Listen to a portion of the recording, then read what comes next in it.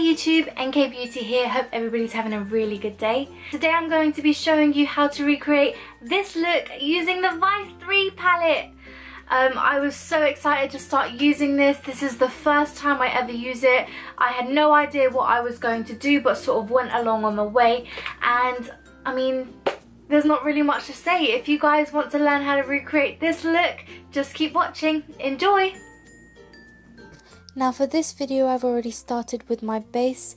All the products used will be listed in the description box below. I'm really excited to start using this palette. This is the first time that I use it as mentioned before. The good thing about it is it has a really wide range of colours so that you don't actually need any other palettes if you wanted to just purchase this one as a first one. It has all the neutrals, all the cool tones, all the warm tones and a bunch of other things as well. So starting off, as usual, I'm using my Too Faced Shadow Insurance all over the lid.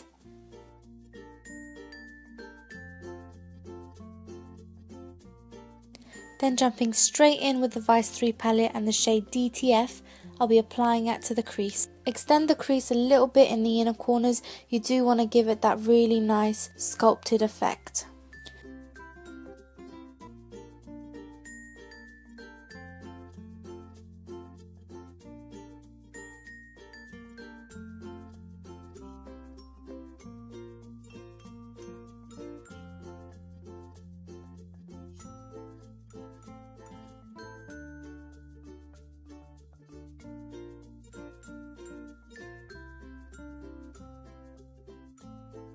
Now I like to map out what I'm going to be doing.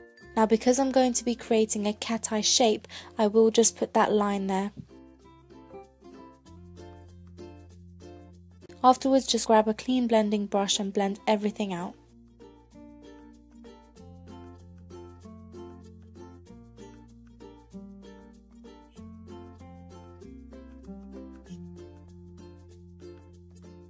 After DTF, I'll be taking the shade Downfall and just applying it just over where I put DTF. Again, blend this out with a clean blending brush.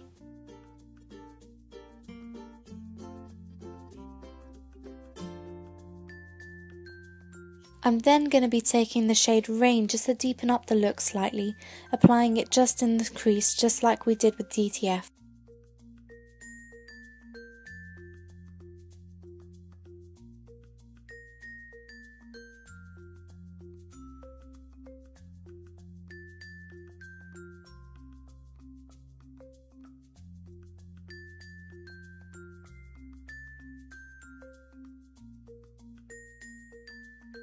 Blend everything out with a clean blending brush and then take the colour Truth just to make sure everything is blended seamlessly. Apply that just under the brow bone and bring it down slightly so that it mixes in with the other colours.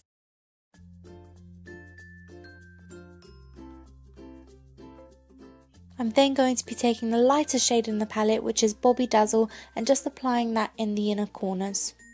And as a quick review while you're watching this, I absolutely love all of the shades in this palette however I do feel like some of them do need some sort of a white base underneath just to make the colours really pop.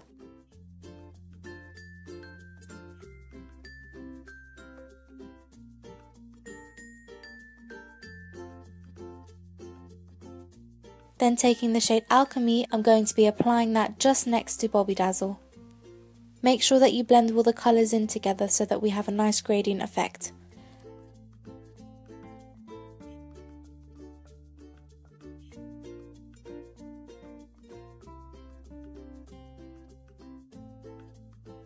After that, take bondage and apply that right in the outer corners, bringing it in to mix with alchemy.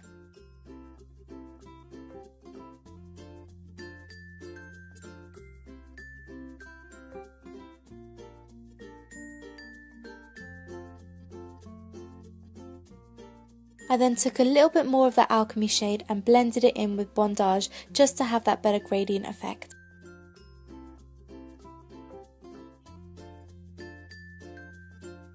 If you feel like you've made a mess, don't hesitate to go in with a wipe just to wipe away anything that you feel like isn't in place properly. I'm then going to be taking a colour completely out the colour scheme that I've been using, taking the shade Dragon and just applying that on my bottom lash line for that pop of colour. If you get any fallout, just take a fan brush and brush it away. Taking a black liner, this is one that I used in my previous video called Vulse and this is one made in Germany. I actually get it from my country so I'm not sure where you can get this but any black liner will do. Just line your inner waterline just to give it that really dark effect. Now taking Soap & Glory's Super Cat liner, I'm going to be lining my top lid, just winging it out very nicely. And my camera stopped. I don't know why my camera does this quite often actually, it stops recording so I didn't actually manage to get the full clip of this, so I do apologise.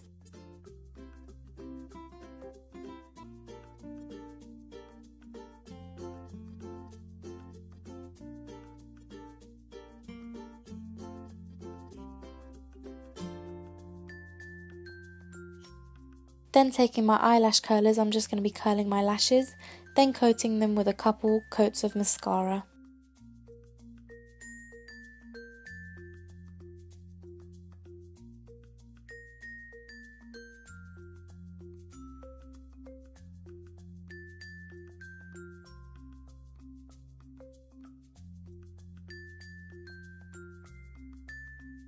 Make sure you do your bottom lashes too because that will really open up your eyes and make them seem bigger.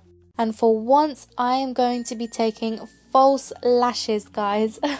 Can you believe it? I'm going to be using false lashes in this look just because I really want that dramatic effect. And while we're waiting for the lash glue to dry, we might as well have a little sweet, right?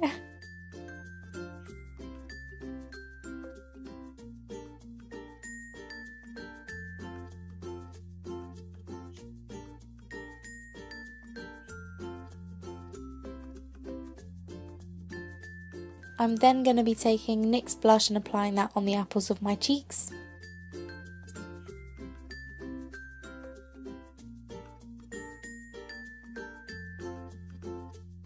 And while I'm at it, I'm going to dig a huge hole in the shade Undone in my palette. You guys saw my reaction. Oh my god, I was so annoyed.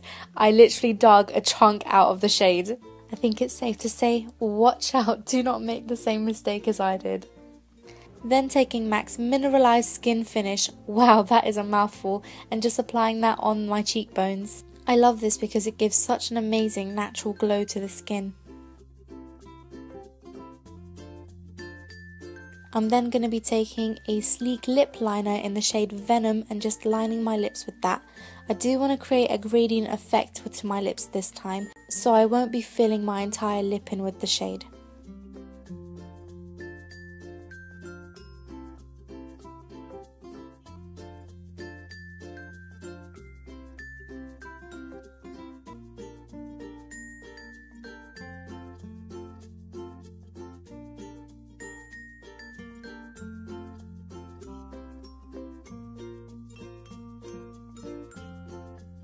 Then I'll be taking a matte lipstick by NYX and just applying that to the centre of the lips, sort of blending it outwards so that it blends nicely with the deeper colour.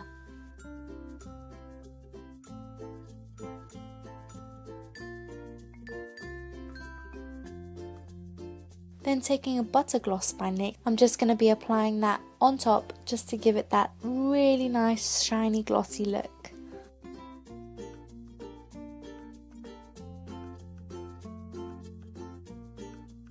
And that is it for the look. I hope you guys enjoyed.